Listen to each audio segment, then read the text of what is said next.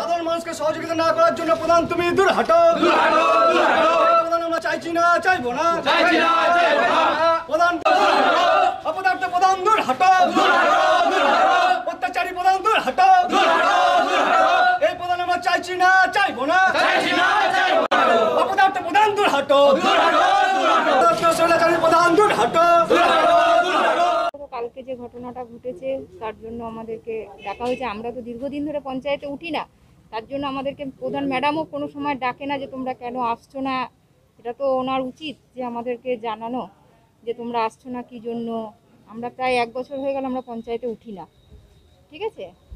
এই জন্যই আসা যে কালকে এই ঝুট ঝামেলাটা হলো কেন হলো কি বৃত্তান্ত? এই যে বারোটা আটজন আছি। আসছি না প্রধানের সঙ্গে আমাদের অ্যাডজাস্ট হচ্ছে না আমাদের কোনো কথা শুনছে না। আমরা যেটা বলছি তার বিপরীত করে। এটাই। তাই জন্য আসি না। আমরাই প্রধান চাইছি না। তাই জন্য অনাস্থা আমরা অনাস্থা অনেক দিন ধরে ডেকেছি সেটাও কোনো কার্যকরী হচ্ছে না।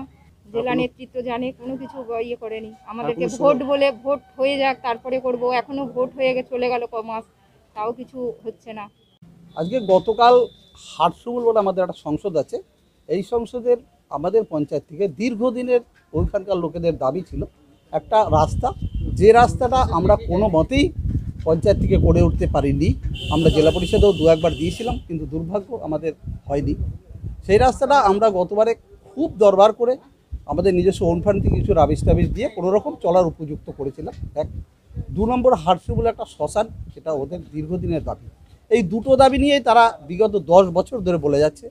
আমাদের পূর্বতন প্রধান যিনি ছিলেন, তিনিও হচ্ছে, হবে হচ্ছে, হবে। আমরা বোর্ডের মিটিংয়ে সিদ্ধান্ত করে দিয়েছি, তবু সেটা হয়ে উঠছে না। কিন্তু দেখা যাচ্ছে এখন যা পরিস্থিতি, বিগত প্রায় সাত মাস হয়ে গেল আমাদের পঞ্চায়েতে একটা অনাস্থা আছে। নির্বাচনের অনেক আগে এই অনাস্থাটা আমরা এনেছিলাম। তখন নির্বাচনোত্তর পরিস্থিতি হওয়ার জন্য বর্ধমান জেলা সভাপতি সভাপতি মাননীয় স্বপন দেবনাথ মহাশয় আমাদের সবাইকে ডেকেছিলেন। ডেকে বললে, ঠিক আছে, নির্বাচন যাক, আমরা একটা কমিটি করে দেবো। সেই অ্যাডহক কমিটি তোমাদের পঞ্চায়েত চালাবে। আমরা যথাযথ সামনে নির্বাচন আমরা দল যেহেতু করি দলের কথা চিন্তা করে আমরা আমাদের কথা উদ্যোগ করে নিয়েছি যথাযথ আমরা বিডিও অফিসে গিয়ে আমরা আমাদের অনাস্থা প্রস্তাবকে তুলে দিয়েছি।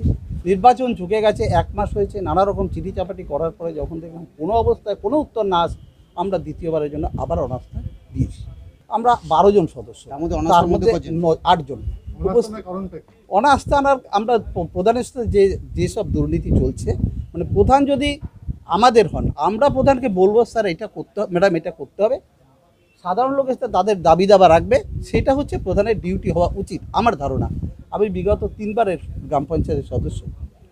তো আমাদের সঙ্গে প্রধানের কোনো মতেই কোনো অবস্থাতেই বুনিবনাত হয় না। দেখুন সংসদের কয়েকজন ব্যক্তি তারা এসে এই দাবিটা রাস্তা এবং শ্মশানের জন্য কথা যখন বলতে এসছে, তখন প্রথম প্রধানের দাবি কথা হচ্ছে, বেরিয়ে যাওয়া আগে অফিস থেকে। মানে মনে হচ্ছে যেন ওটা ওর অফিস প্রধান নিয়ে কি চাইছেন আপনারা? প্রধান নিয়ে কি প্রধান নিয়ে আমরা চাইছি এই প্রধানকে দিয়ে আমরা কাজ করব না। আমরা এই প্রধান পঞ্চায়েতে থাকলে ততক্ষণ পর্যন্ত আমরা যারা এই যে আটজন মেম্বার এখানে আছি আটজন মেম্বার কোনো অবস্থায় সহজ তার জন্য সিসি ক্যামেরার ফুটেজ আছে। আমি এইমাত্র এসেই সঙ্গে সঙ্গে সেক্রেটারি বাবুর কাছে গিয়েছিলাম। তো সেক্রেটারি বাবুকে বললাম কি হয়েছিল কালকে? বলল তারা এসে দাবি করেছিল। প্রধান তাদের কথা শোনেননি। প্রধান ইচ্ছাকৃতভাবে টেবিল উল্টে দিয়েছে এটা সিসি ক্যামেরায় হয়তো যদি ঘটনাটা সত্যতা থাকে সেটা মেলায় অবশ্যই সেটা উঠবে। আমরাও আশা করব সেটা সিসি ক্যামেরায় সেই ফুটেজে পাওয়া যাবে।